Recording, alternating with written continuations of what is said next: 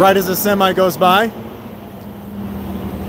So we're out here in uh, uh, what town is this? Carrizozo, New Mexico, county of Lincoln County. Lincoln County. Uh, Courtney just got out of jail. This is her attorney, Zach Cook. Um, so can you tell us kind of what's what's going on here? And Sure. So, James, you've summarized it very well on your videos. Uh, what happened is that uh, my client, Courtney Alcala, was arrested for uh, uh, uh, something else back in March. Um, that, that we maintain her innocence on that as well. Uh, it was a bogus charge that we're fighting. And uh, so when she was transported to Lincoln County Detention Center in Carrizozo from where she lives in Alto, New Mexico, um, the transport officer, who's a deputy of the uh, Lincoln County Sheriff's Department, began a conversation with her that was very inappropriate. He was inviting her to uh, come up to Albuquerque to spend a night with him in his hotel when he would be up there in March for uh, training. Uh, so essentially, he was inviting uh, a woman who was in his custody in detention, handcuffed in the back of a police car that he was transporting to jail, and he's asking her to come up and spend a romantic evening with him in a hotel that's being paid for by the taxpayers because he's up there on a police training.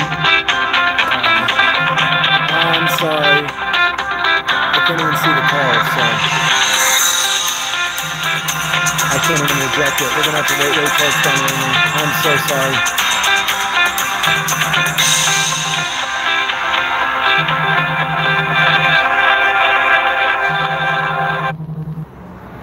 All right, I apologize. My phone's broken, so I can't even see the call. Uh. All right, I'm sorry to interrupt you. Sure. Um, so, so uh, Courtney's being transported in handcuffs in custody of the police.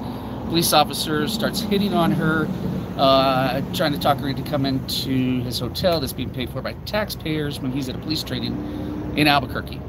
So uh, Courtney explained this to me when, after she had engaged me to represent her in the underlying charge, and I was very disturbed by what she told me, and so I, on Courtney's behalf, requested public records, including the video of that transport. And that was, uh, I don't know, March 19th, around there, on or about March 19th, I did the inspection of public records request for the video that would show what Courtney described. And the next day, uh, the sheriff of Lincoln County posted on Facebook a, a, a video talking about how um, how this is not how disappointed he is, and this is not who we are, and blah blah blah, and you know that there were no criminal charges or no criminal activity. He said that there were no there was no criminal activity in that post. Well, and then a couple of days later, I did another inspection of public records request asking for any records of the sheriff referring the matter to an outside agency, state police, uh, whoever else, um, referring it for a criminal investigation because potentially there was a crime committed. Mhm. I'm not, the, you know, the prosecutor. I, but I, I think the the the the fact that there's a police officer trying to entice a woman to to, to have a relationship with him while she's uh, in in a very uh, weak position uh, in handcuffs in his custody, it doesn't. It sounds like a crime to me. But according to Mike's, uh, the sheriff's um, video, he had already written it off. No, no criminal activity. This is just a personnel matter, an ethics matter. I think he might have said. Um, so he put him on uh, uh, um, administrative leave, which he should have. Uh, but it also should have been referred out for uh, for a criminal investigation. And after my, I think that's the sheriff right over there. I'll be darned. Um, so after I sent the inspection public records request, then uh, the next day I got a phone call from the district attorney's office, and they had now at that time been referred the case after my request. So apparently he wasn't going to do anything. He was going to sweep it under the rug and not do anything about investigating it under uh, as a crime. But then when we put pressure on him to see to to to refer it out, he, he finally did that. So at that point, Miss Alcala has now blown the whistle on a police officer who does really bad things to women when he's in the car with them. At least one. I, I can't imagine that she's the only one. I don't know how many other officers participate in this activity, but we intend to find out. Um, but they intend to fight us every step of the way. Miss Alcala is staying in the home of some friends in an area that the police should not even know where she's at. And yesterday, she was pulled over in the morning for a traffic violation. And the officer let her go, told her he would mail her a ticket. She drove off as he was leaving, as he was walking back to his car.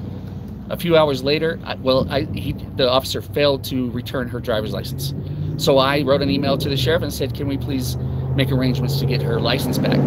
Several hours later, he writes a email back to me that says, "Well, sorry, but there's a lot more to this story that you don't know. There's a there's an arrest warrant out for for Miss Alcala for uh, I think he said for pulling away from a traffic stop. I, I, never knew that was a crime, but pulling away from a traffic stop, I've done that many many times.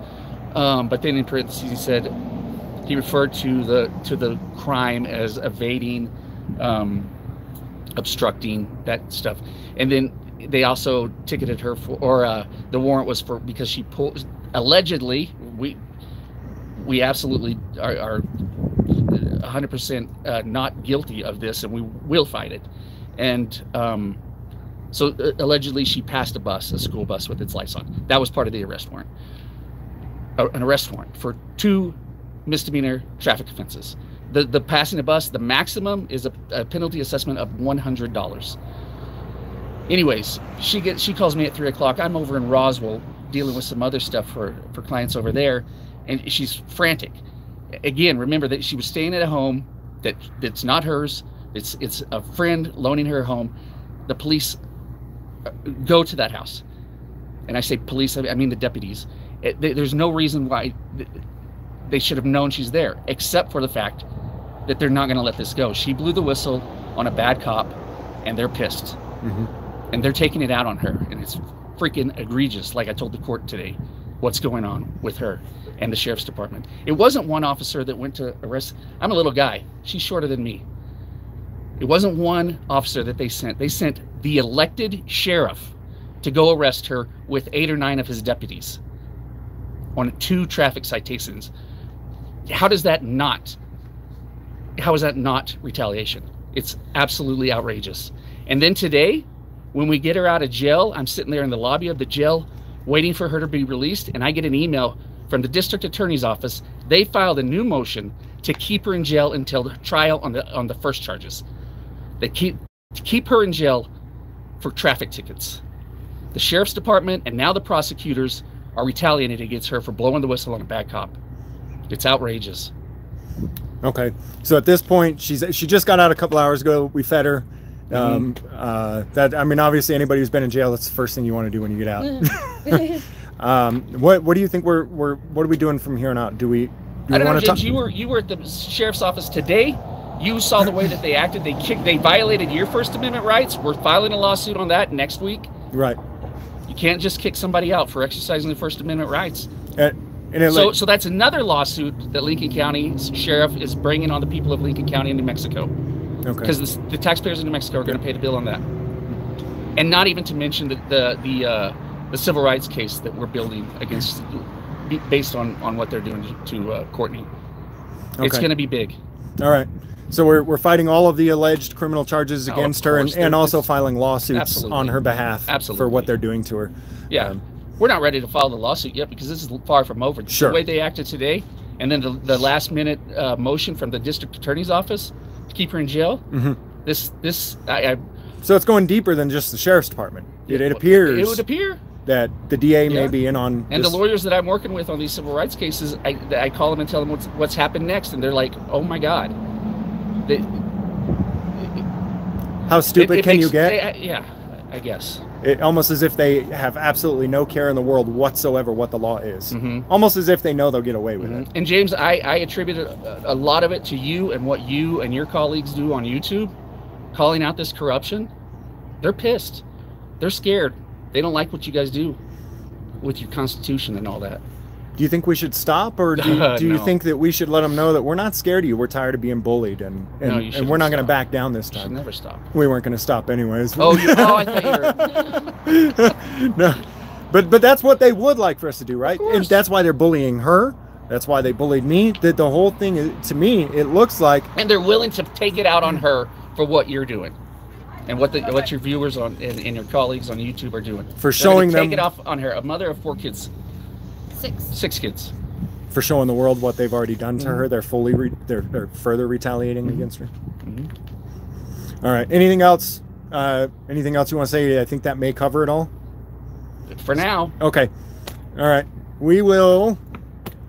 Uh, I I will go live and and uh, keep you updated on this. I think there's some stuff going on. Uh, there's a lot of stuff going on around the country. Um, I am probably going to go live one more time tonight, and we're I'm probably going to look for uh, Lincoln County Sheriff's deputies out here uh, and try to uh, confront them and talk to them. Uh, but there is a a people were asking earlier, why did you walk out when you were told to? I don't need to get arrested to, to have the same exact lawsuit as if I were to spend the night in jail. So uh, I'm I can't express my gratitude for having an incredible team behind me. That includes um, Zach Cook. That includes Blair Dunn and a number of other folks. Um, so thank you to everybody who's who's and, and you guys who are also uh, uh, making phone calls, letting letting them know that hey, we all have eyes on what you're doing. We all know what you're doing, and we're tired of you bullying people. Thank you guys for watching. We'll see you next time.